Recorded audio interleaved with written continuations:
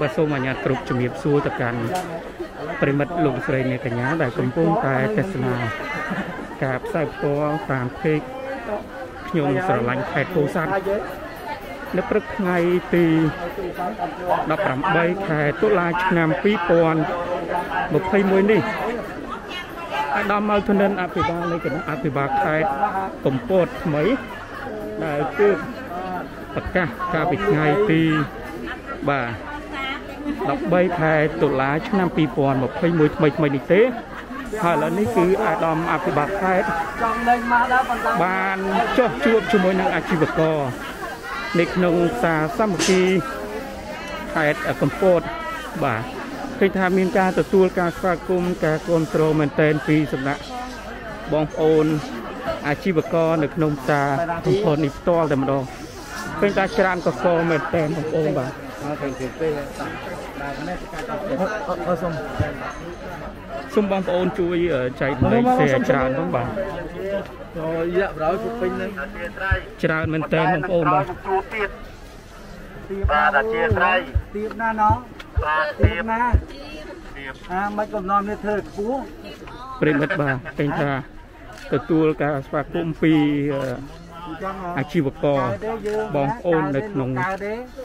ផ្សារសន្តិភាពកំពតនេះផ្ទាល់តែម្ដងបាទស្ថិតនៅក្នុងក្រុងកំពតបងយើងពេញចិត្តដែរខេត្តកំពតនេះផ្ទាល់បាទខ្ញុំពេញចិត្តប៉ុណ្្នឹងដែរតោះណាពួកឯងមកនេះស្ដាំមកចាំមើលអ៊ំសួរកូនលក់ដាច់អត់កូនលក់អត់ទាន់អត់សូវដាច់ទេតោះថ្ងៃតិចតិចហ្នឹង អាយដល់បាទគឺការទទួលការស្វាគមន៍បងប្អូនយើងជួយអត់ហ៊ានបោះចូលរួម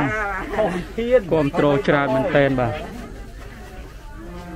អត់អីទេយើងអត់ក្តៅទេហ៎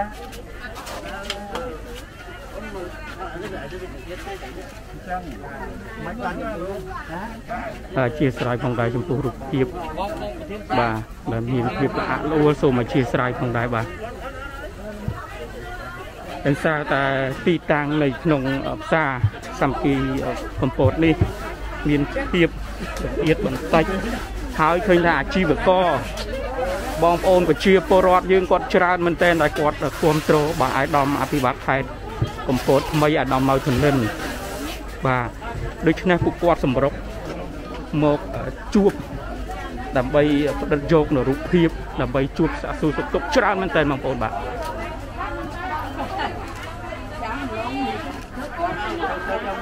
បាទជាត្រៃបាទមួយមួយមួយមួយបាទមួយមួយបាទឃើញបងប្អូនមកគាត់មកជួបបាទជួបជាមួយអាដាមអាបាត់ខេតបាទដោយសារការស្រឡាញ់នេះហើយបាទទទួលការស្វាគមន៍ច្រើនមែនទែនបាទសូមជួយចែករំលែកជួយ share ផងបាទយើងលោកខាងក្នុងអត់ដាច់គាត់ទៅលោកខាងក្រៅ ឥឡូវយើងចង់ខាងណាចង់ខាងក្នុងចង់ខាងក្នុងទាំងអស់គ្នាតែតែយើងខាងក្នុងទាំងអស់គ្នាយើងមានតូបគ្រប់គ្នាទេមានមានយើងជួលទេទាំងអស់គ្នាពួកខ្ញុំបញ្ជួលដែរប៉ុន្តែយើងមានលទ្ធភាពទេខ្ញុំមានជួលទេទាំងអស់គ្នាហ្នឹងយ៉ាងហើយចាមានមានមានតូបទៅជួលទេអ្នកអ្នកអ្នកក្រៅតូនមកជួលទេដែរធីធីធីធីធីធីចាំចាំមានអ្នកលក់ហ្នឹងផងយើងណាហើយកែ ចាំចាំខ្ញុំនេះបងណាឥឡូវខែនេះខ្ញុំដើរមើលសិនណាចាចាចាចាំមើលខ្ញុំមើលរួចហើយបងប្អូនយើងមានចំណងចំណងចិត្តវាមិនចំណងពលវាមិនតែជួបខ្ញុំជួបខ្ញុំណាចាជួបខ្ញុំហើយខ្ញុំនឹងចុះមើលម្ដងទៀតជាមួយនឹងអាជ្ញាធរជាមួយនឹងធានផ្សារតម្រូវទៅតាមបងប្អូនយើងដែលលោកចង់បានណាធ្វើម៉េចឲ្យយើងលក់ឲ្យដាច់ទាំងអស់គ្នាធ្វើម៉េចឲ្យយើងរស់បានទាំងអស់គ្នាដល់នេះពូចាឥឡូវ ហ្នឹងហើយឥឡូវចាំចាស់ណាស់ឥឡូវចាចាហ្នឹងហើយណាបាទហើយនោះដាក់ប្រងដាក់កាមួយឲ្យបងមួយបាទប្រិមិត្តទូរទស្សនិកជនអាយដាមម៉ៅធនិនចុះមកលើកនេះជាលើកដំបូងហើយដែលអាដាមអភិបាលខេត្តតែទើបមកកាន់តំណែងជាអភិបាលខេត្តកំពតហើយជួយពេលព្រឹកនេះអាយដាមចុះពិនិត្យក៏ដូចជាសាកសួរសុខទុក្ខជាមួយនឹងអាជីវករតែម្ដង ហើយទៅមុខទៀតអាយដាមនឹងចុះបាទសម្របសម្រួលជូនអាជីវករដែលគាត់មានសំណុំពរបាទមកកាន់អាដាមអភិបាលខេត្តបាទអញ្ចឹងលោកនឹងធ្វើការសម្របសម្រួលជួយដោះស្រាយជូនប្រព័ន្ធគាត់លើកនេះគឺអាដាមអភិបាលខេត្តលោកបាទចោះជួបជាមួយនឹងអាជីវករព្រោះដោយសារតែអាជីវករបងប្អូនយើងច្រើនអ្នកណាដែលគាត់ បាទសំណូមពរឲ្យអាដាមគាត់ចុះមកជួបនៅអាជីវករបាទអូបាទទទួលបានការគ្រប់គ្រងស្វាគមន៍យើងថាដឹកនាំដែលគាត់បាទល្អអញ្ចឹងគឺមានការទទួលស្វាគមន៍ច្រើនមែនទែនច្រើនជុំវិញបាទផ្ទះគាត់សម្រុកមកមើលឯដំអភិបាលខេត្តតែម្ដងប៉ុន្តែសូមសំណូមពរឲ្យបងប្អូនយើង បាទបន្តនៅក្នុងការពាក់ម៉ាស់បាទដដែលបាទ អញ្ចឹងក៏អាបាននៅយូរទេអាដាមអាបាខេតលោកនឹងចុះបាទចុះបន្តបន្តទៀតបាទចុះបន្តឲ្យទៀតឃើញនោះទទួលការស្វាគមន៍ច្រើនមែនទែនពីសំណាក់អាជីវករបាទបងប្អូនប្រជាពលរដ្ឋយើងមកច្រើនមែនទែនបាទ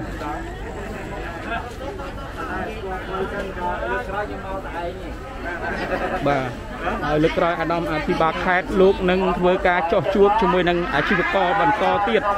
ព្រោះនេះជាលើកទី1បាទហើយ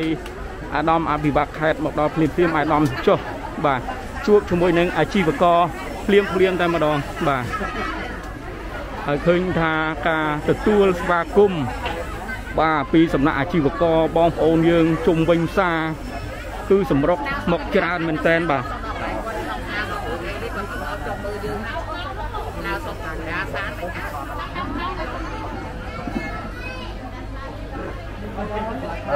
សូមឆ្លងខាងមុខអែបអែបតិចបាទបាទបាទបាទអែបតិចសូមជួយចែករំលែកសូមបងប្អូនបាទព្រោះថាអាយដាមអភិបាលខេត្តលោកគឺមកកាន់អបកាន់ទឹកដីកពតនេះហើយអាយដាមបានចុះមកជួបជាមួយនឹងអាជីវករបាទសាកពតនេះផ្ទាល់តែម្ដងបាទ នៅនេះយើងហៅសាសាមគ្គីឯណាសាសាមគ្គីបាទសូមជម្រាបថានេះគឺនៅផ្សារសាមគ្គីបាទកំពតនៅក្នុងក្រុងកំពតបាទឥឡូវខ្ញុំរកទីតាំងមួយសម្រាប់ទៅជួបមានផ្លូវមុខតាមនេះទេជាអៀតបាទ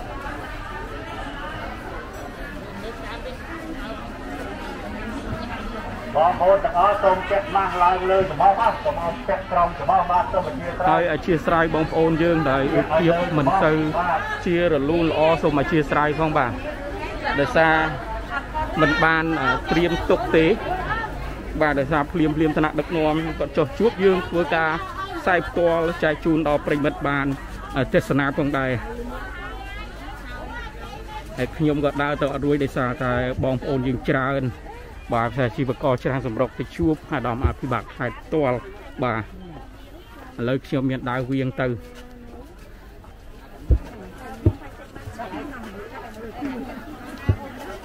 សូមជួយចែករំលែកសូមជួយ share បន្តបងប្អូនបាទបងសូមផ្លូវមួយបងបងសុំបាទនោះអាដាមអាបាក់អេតជាស្អាត បងបងសុំសុំសុំមួយបងសុំមួយមួយបងបងបងសុំផ្លូវមួយបងបងបងសុំផ្លូវមួយបងបងសុំផ្លូវមួយបងសុំសុំសុំអាចមួយ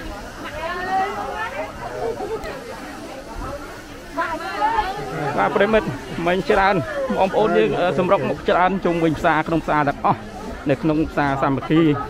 បាទក្រុងកម្ពុជានេះផ្ទាល់តម្រងគាត់សម្រុក មកជួបអាដាមអភិបាលខេត្តបាទ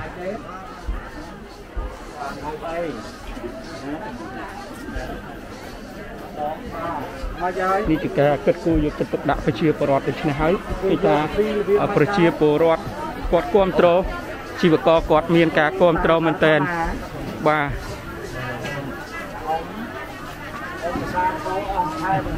ឥឡូវនេះអាដាមអាបាក់ខែឃើញលោកតាដែលគាត់ វ័យចំណាស់អញ្ចឹងអាដាមក៏បានផ្ដល់នៅថវិកាបាទថ្ងៃហ្នឹងថ្ងៃហ្នឹងមកថាណាថ្ងៃហ្នឹងថ្ងៃហ្នឹងអោនជិះទឹកផ្ទះទៅណាអោនកុំអង្គុយអីណាអ៊ំថ្ងៃនេះអ៊ំជិះទឹកផ្ទះទៅណាអ៊ំណាខ្ញុំឲ្យលុយច្រើនអ៊ំណាបាទអ៊ំបាទអ៊ំអញ្ជើញមកយ៉ាងបាទជិះអ៊ំបាទអត់បានដើរទៅខាងនោះទេ អធិស្ឋានប្រិមិត្តចំពោះរូបភាពផងបាទដោយសារអាដាមបាទខេត្តគឺជាពលរដ្ឋក៏សុំជួបច្រើនហើយជីវករហ្នឹងបាទអរគាត់តែឃើញអាយដលបាទបាទសូមជម្រាបថានេះហើយជាថ្នាក់ដឹកនាំមួយដែលមានគុណធម៌បាទចំពោះបងប្អូនប្រជាពលរដ្ឋដូច្នេះទៅទីណាគឺថាទទួលបានការគ្រប់គ្រងទីនោះបាទអញ្ចឹងឃើញថាមិនតិចទេបងប្អូនអាជីវករយើងសម្រុកបាទប្រិមិត្តបានឃើញទេនោះ ច្រើនមែនតើបាទមកសូមជួបអាយដាមអភិបាលខេត្តបាទជុំវិញខ្លួនសិតតែអាជីវករមិនថាអាជីវករបងប្អូនប្រជាពលរដ្ឋមកច្រើនមែនតើបងប្អូនបាទសូមជួយចែករំលែកបាទបន្តផងបាទបាទស្ទះច្រើនពេកបាទយ៉ាងម៉េចយើងដបូលនឹងអត់អីទេយើងប្រើខែទេហើយកន្លែងណាដែលប្រើមិនកើតជួសជុលខ្លួនឯងណាធ្វើមកពេញចិត្តហ្មងគាត់ ពេញចិត្តមិនឃើញអញ្ចឹងណាបាទ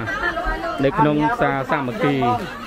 ក្រុងកំពតនេះឥឡូវអាដាមទទួលការសុខកំពររបស់អាជីវកររបស់យើងកន្លែងសាថៃកន្លែងដមូលវិញគោះចាប់បាក់ហ្នឹងលោកពូអឺពួកខ្ញុំចង់សុំឲ្យតូចឡើងឲ្យខ្លួនស្អីអត់អត់ឯកភាពឲ្យដូចឡើងដូចថ្ងៃណាដូចចាស់ហ្នឹងលើបាយអាចមិនគាត់ថាឲ្យ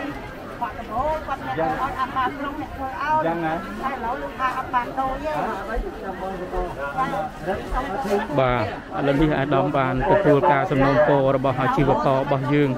បាទរៀបចំសារខ្លះខ្លះៗមួយចំនួនពីការសំណូមពរហើយនៅពេលទៅនេះអាដាមអភិបាលខេត្តនឹងជួបជាមួយនឹងអាជីវករព្រោះនៅពេលខាងមុខនេះអាដាមអភិបាលខេត្តនឹង បាទបង្កើតជាមួយនឹងក្រុមគ្រួសារតាក់ស៊ីម៉ូតូឌុបក្រុមគ្រួសារអាជីវករជាដើមនៅពេលខាងមុខដឹកផ្លូវនេះផងដែរ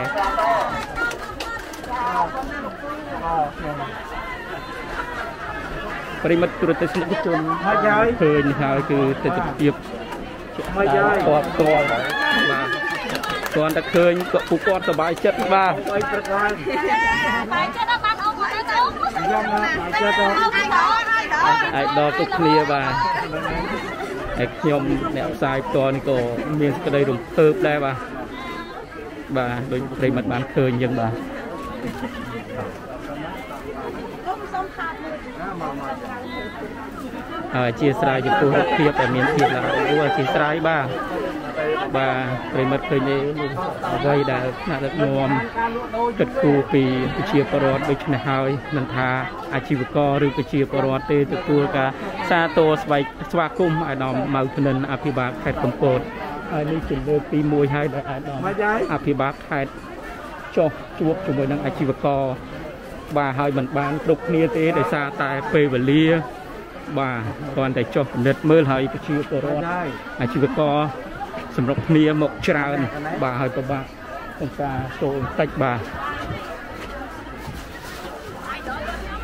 បាទអាជីវករឃើញហើយសិតតែ idol បាទបងប្អូនបាទសូមជួយចែករំលែកបន្តបន្តបងបងបងប្អូនបាទឃើញថាអាជីវករច្រើនសម្រុកមកជួបឯកឧត្តមអភិបាលខេត្ត ដោយសារតែពាក់ព័ន្ធបញ្ហា COVID-19 បងនោះมันអាចថាដូចមុនអីហើយច្រើនមកសម្រុកបាទប្រិយមិត្តគឺតែសិរិកជនមើលខាងនោះឃើញតែច្រើនមែនតើបាទ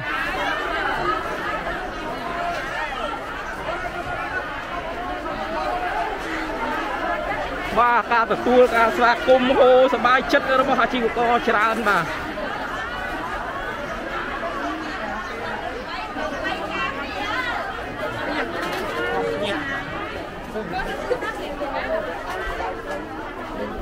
ដល់នេះសខប់ប៉ុណ្ណេះមកឃើញមកផង អត់អីទេគាត់អញ្ជើញមកទៀត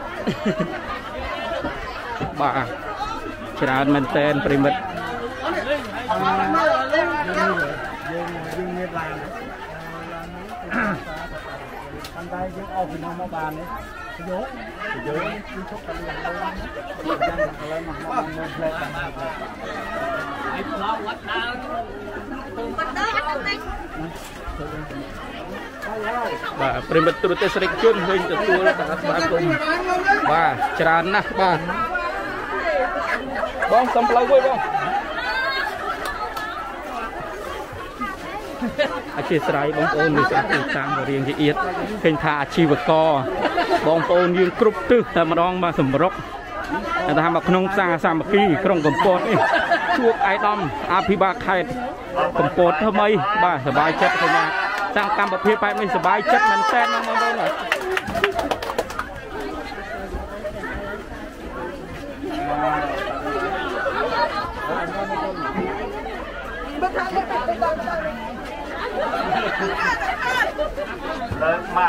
បាទប្រិមិត្តព្រទស្សនិកជនបានឃើញហើយតែថាអនការបរំរឿងកូវីដ19ផងប៉ុន្តែដោយសារតែ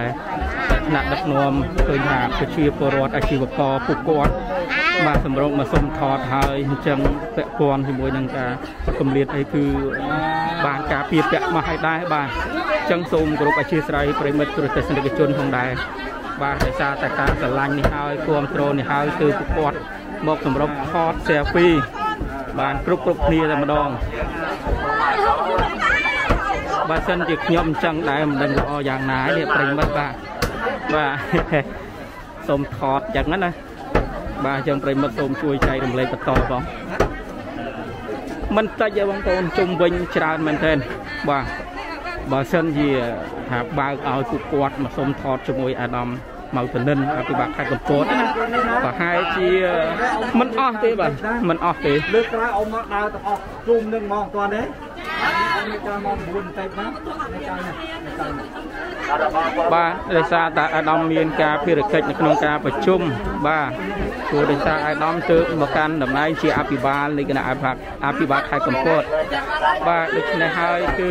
អាដាមមានភារកិច្ចទៀតបាទ បាទបាទឥឡូវនេះឃើញថាលូដែលមានស្ទះមានអីនេះគឺអាដាមអភិបាលខេត្តលោកនឹងឲ្យខាង ក្រុងគេរៀបចំសម្អាតបាទអមឲ្យគេមកបោម្ល៉េះចាចាចាចាចាប្រាប់អស់គ្នាអើយប្រាប់អស់គ្នាចាចា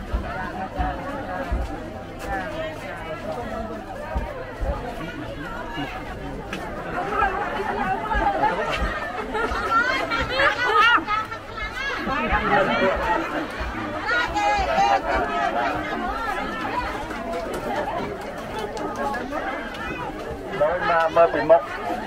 រៀបពីមុខប្រិមិត្តបាទការស្រឡាញ់បាទឃើញថាពួកគាត់សុំថតទៀតប្រិមិត្តប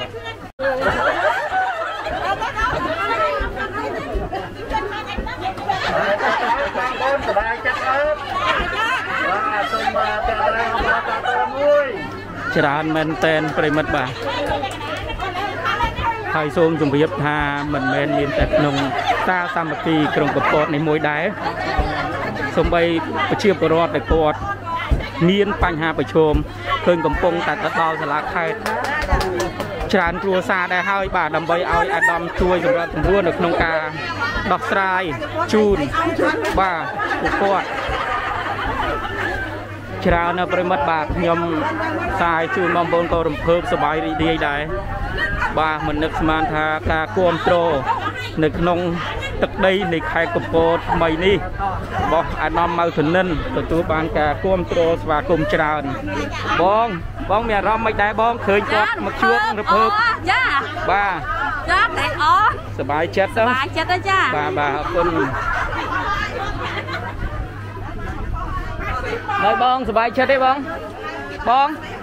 សบายចិត្តយើងគាត់បានគាត់អញ្ជើញមកខេត្តកំពតហើយសង្ឃឹមថាប្រជាពលរដ្ឋគាត់នឹងមានដំណោះស្រាយផ្សេងផ្សេងគឺឲ្យគាត់ជួយដល់ឥឡូវឃើញមានប្រជាពលរដ្ឋគាត់ទៅសូមជួយបាយដំមួយមួយណាបាទហើយក៏ជូនពរគាត់ឲ្យមានសុខភាពល្អហើយគាត់នឹងជួយដោះស្រាយប្រជាពលរដ្ឋក្នុងខេត្តកំពតឲ្យល្អដោយនៅខេត្តពោធិ៍សាត់របស់គាត់ចឹងបាទបាទឲ្យច្រើនមែនទែនប្រិមត្តបាទខេត្តកំពតខេត្តកំពតទៅតែក្រៃក្រៃចំពោះណា អីសប្បាយចិត្តអីចាសប្បាយចិត្តមានអីចំណាប់អារម្មណ៍តិចមកអីយល់យ៉ាងណាដែរសប្បាយចិត្តរំភើប idol ដល់ខេត្តកំពតរងចាំទៅយូរហើយរងចាំទៅរងចាំរងចាំយូរហើយចាដល់ដល់សុខភាពអាបាទមកដល់ជាប់ត្រង់ចាំបាទបាទបាទបាទបាទប្រិមិត្តគ្រូទេសនិកគុំច្រើនមែនតើស ម្រាប់ជួបជាមួយនឹងអាដាមម៉ៅធនិនបាទអភិបាលខេត្តកំពតជុំវិញច្រើនបាទគ្រាន់តែសូមសូមឲ្យចូលរួមនៅក្នុងការអនុវត្តការពារក៏បងសុំផ្លូវមួយបងបងសុំ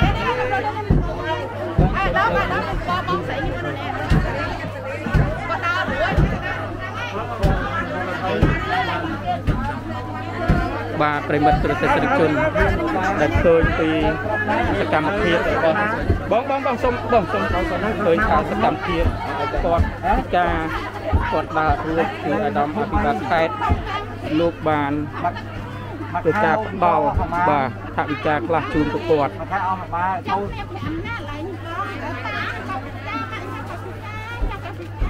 ្ញុំចាំបងណាខ្ញុំចាំបងចាំទៅសាលាខេត្ត បងទៅសាលាខេត្តខ្ញុំគាត់ឈ្មោះបងហើយចាំផ្ដល់ជូនដល់ខេត្តតនេះតែឥឡូវឲ្យថ្ងៃនេះប៉ុណ្្នឹងឲ្យទៅផ្ទះណាចាំបងចាំជួបគ្នាបាទប្រិមិត្តទស្សនិកជនឥឡូវបងស្រីដែលពិការខ្វះខាតលទ្ធភាពអាចតំអភិបាលខេត្តលោកឲ្យទៅសាលាខេត្តដើម្បីជួបអាយដាមនឹងធ្វើការចិញ្ចឹមបាទបងស្រីព្រោះដោយសារតែគាត់គ្មានលទ្ធភាពបាទហើយអត់មានគ្រួសារជួយចិញ្ចឹមបាទ អញ្ចឹងដូច្នេះហើយអាដាមអភិបាលខេត្តលោកបានឲ្យគាត់ទៅបាទតាមរយៈបងប្អូនដែលគាត់ជូនទៅសាលាខេត្តដើម្បីជួបជាមួយនឹងអ្នកដែលគាត់ក្រុមការងារទីនឹងដើម្បីរៀបចំឲ្យគាត់ជួយបីបាច់ចិញ្ចឹមគាត់ផ្ទាល់ផងដែរ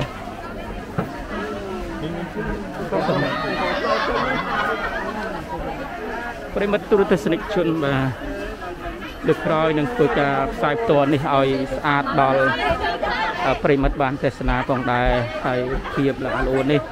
អធិស្ឋានបងប្អូនដែលសាប់លៀមលៀមតែឃើញការគ្រប់គ្រងច្រើនមែនទែនខ្ញុំក៏ធ្វើការផ្សាយផ្ទាល់ចែកជូនប្រិមិត្តបានបាទទេសនាពីសារសាមគ្គីក្រុងកំពតនេះផ្ទាល់តែម្ដងបាទ ហើយអាដាមអភិបាលខេត្តលោកនឹងចុះជាបន្តបន្តទៀតព្រោះព្រឹកនេះដោយសារតែអាដាមអភិបាលខេត្តនឹងជួបទៀតមានភារកិច្ចបាទបន្តទៀតប្រជុំបាទហើយដល់ជាប់ប្រជុំអញ្ចឹងអាជួបទៀតថ្ងៃក្រោយអើយបាទហ្នឹងហើយប្រិមិត្តគ្រូទេសនិកជនដែលហើយយើងដើរយើងកំពុងតែទេសនាពីការចុះជួបជាមួយនឹង បងប្អូនអាជីវករនៅក្នុងផ្សារសាមគ្គីខេត្តកំពតនេះផ្ទាល់តែម្ដងណាហើយក្នុងនោះក៏មានការចូលរួមអមដំណើរពីលោកស្នងការខេត្តបាទថ្នាក់ដឹកនាំផ្សេងទៀតនៅក្នុងខេត្តកំពតបាទប៉ុន្តែលោកយាយមានអ្នកណាចាំរងថ្ងៃលោកយាយទៅសាលាខេត្តខ្ញុំចាំលោកយាយណាលោកយាយណា លោកយាយភាសាបន្តមួយខែអស់មួយប្រិគីមឡូត្តឬបេសិកជនឥឡូវលោកយាយសារចិត្តទៀតដែលគាត់បាក់ខាតទៀតបាទអញ្ចឹងគឺអាដាមអាបាក់ខេត្តលោកលោកយាយនឹងនឹងលោកយាយទៅផ្ទះទៅណាខ្ញុំយាយច្រើនអញ្ចឹងនិយាយទៅគាត់នៅទីនេះសិតតាឲ្យចាំលោកយាយទៅសាលាខេត្តបងប្អូនគាត់ឈ្មោះជុំនៅខ្ញុំជួយចាំលោកយាយណាលើអាដាមអាបាក់ខេត្តលោកជួយចិញ្ចឹមហើយបងប្អូនបាទ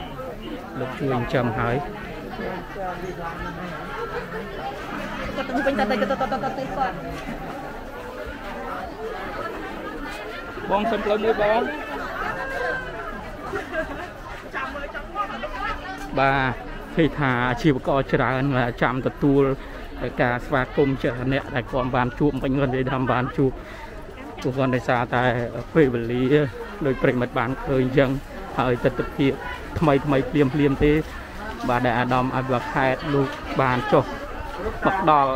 ផ្សារបាទសាមគ្គីកម្ពុជានេះផ្ទាល់គេថាខ្លះរត់តាមដើម្បីសូមថតជាមួយនឹងអាដាមអភិបាលខេត្តកម្ពុជាថ្មីបាទពេលមុនបានឃើញហើយបាទ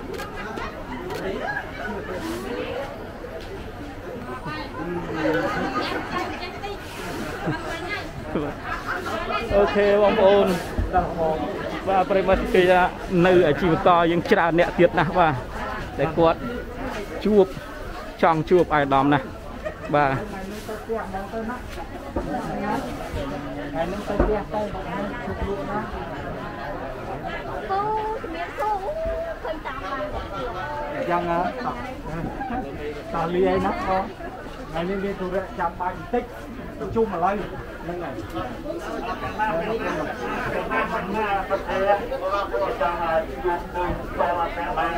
ប្រិមិត្តទូរទស្សនិកជនដែលកំពុងតែទស្សនាការផ្សាយផ្ទាល់នេះឃើញថាទទួលបានការគ្រប់គ្រងពីអាជីវករនៅក្នុងផ្សារសាមគ្គីកម្ពុជានេះបាទ ដោយប្រិមិត្តបានឃើញជាក់ស្ដែងនៅក្នុងសកម្មភាពការផ្សាយផ្ទាល់នេះអញ្ចឹងបាទ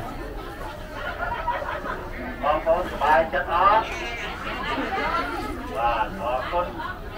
បាទហើយសូមបញ្ជាក់ថាព្រឹកនេះ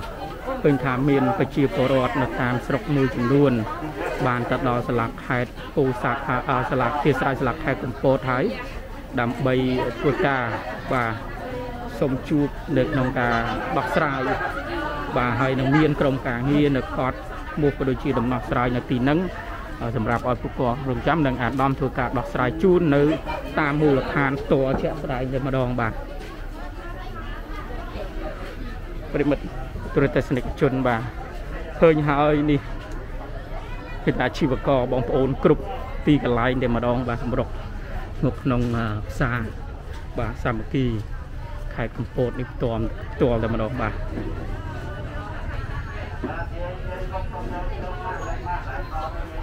ច្រើនណាស់សំបីតាអាជីវករបងប្អូនយើងខាងក្រៅក៏គាត់កំពុងតែមានការរងចាំបាទហើយដោយសារតែព្រឹកនេះអាដាមអភិបាលខេត្តកំពតអាដាមម៉ៅធនិន មានភារកិច្ចនៅក្នុងការ បាទទៅប្រជុំបន្តទៀតអញ្ចឹងឆ្លៀតពេលវេលាព្រឹកនេះគឺអាដាមបានមកជួបបាទអាជីវករដោយសារតែអាជីវករពួកគាត់ខ្លះពួកគាត់មកសុំជួបអាដាមផងដែរឲ្យគាត់ស្អាតតាមណាទៅយកគាត់មួយថ្ងៃទៅយកប្រហែល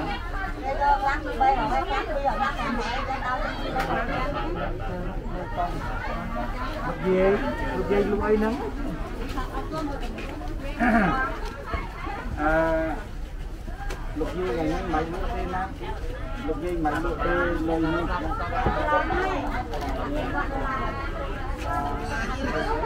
លុយលក់ណៃតាមមើលណាយកពណ៌នឹងបងប្អូនលោកណាតែលោកប្រ ទៅសាច់មកពីចាំមកផ្ដល់ជាបន្តអូទីគាត់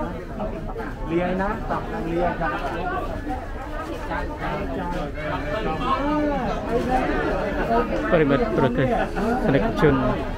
បាទអាដាមម៉ៅធនិនឲ្យការគ្រប់គ្រងផ្សាររៀបចំអ្នកដែលគាត់ខ្វះខាតជីវភាពដែលគាត់មកធ្វើការលក់ដូរឬក៏សុំឲ្យនៅក្នុងផ្សារសាមគ្គីរួមខេត្តកំពតនេះ គឺឲ្យស្រង់ឈ្មោះប្រកួតហើយសម្រាប់អ្នកដែលគាត់មានបងថ្លៃផ្សេងផ្សេងផ្សេងហ្នឹងគឺអាដាមមិនឲ្យយកពួកគាត់នោះទេបាទគេថាការលក់ដូរមកកញ្ជើពីរកញ្ជើណាអញ្ចឹងគឺអាដាមមិនឲ្យយកបង់ថ្លៃថវិកាថ្លៃអីនោះទេបាទបាទសូមជម្រាបថានៅព្រឹកនេះគឺអាដាមអភិបាលខេត្តកំពតអាដាមមកជំនិន បានធ្វើពេលជួបសម្ដេចសម្រាប់ជាមួយនឹងអាជីវករ នៅក្នុងផ្សារសាមគ្គីទីរួមខេត្តកំពតបាទ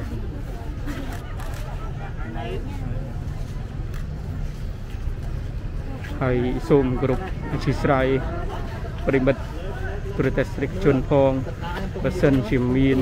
ការលាក់លួនៅក្នុងការផ្សាយនេះបាទសូមអធិស្ឋានផងដែរ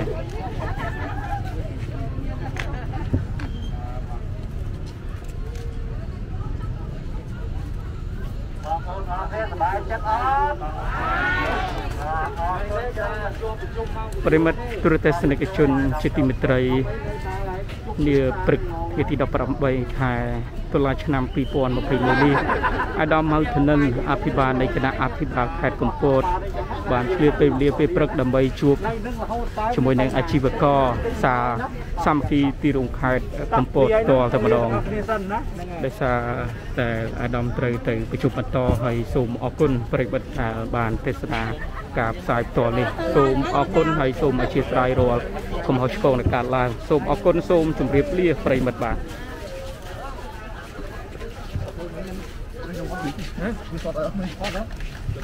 អ